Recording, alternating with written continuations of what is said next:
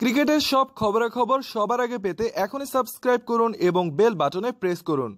IPL এর ছয় নম্বর ম্যাচে আজ মুখোমুখি হয়েছে কলকাতা নাইট রাইডার্স ও কিংস ইলেভেন পাঞ্জাব। এই ম্যাচের শুরুতে টসে জিতে কলকাতাকে ব্যাটিংয়ে পাঠিয়েছে পাঞ্জাব। ব্যাটিং করতে নেমে কলকাতার শুরুটা দারুণ করেছে ক্রিসলিন ও সুনীল নারিন। হাফ সেঞ্চুরির দেখা পেয়েছেন রবিন উথাপ্পা, নীতিশ রানারা। উথাপ্পা করেছেন সাতষট্টি রান ও রানা করেছেন তেষট্টি রান। তবে এই ম্যাচে আলোচনার কেন্দ্রবিন্দুতে পরিণত হয়েছেন অ্যান্ড্রু রাসেল। কিংস ইলেভেন পাঞ্জাবের বলারদের উপর ঝড় বয়ে দিয়েছেন তিনি। আজ দুইশো বিরাশি দশমিক তিন পাঁচ স্ট্রাইক রেটে ব্যাটিং করেছেন অ্যান্ড্রু রাসেল। খেলেছেন মাত্র সতেরো বলে আটচল্লিশ রানের বিধ্বংসী ইনিংস। অ্যান্ড্রু রাসেলের ইনিংসটি সাজানো ছিল পাঁচটি ছয় ও তিনটি চারে। নু বলে জীবন পেয়ে বিধ্বংসী হয়ে উঠেছেন এই ক্যারিবিয়ান তারকা। একের পর এক আকাশী ছক্কায় পুরো ম্যাচে আলোচনার কেন্দ্রবিন্দুতে পরিণত হয়েছেন অ্যান্ড্রু রাসেল।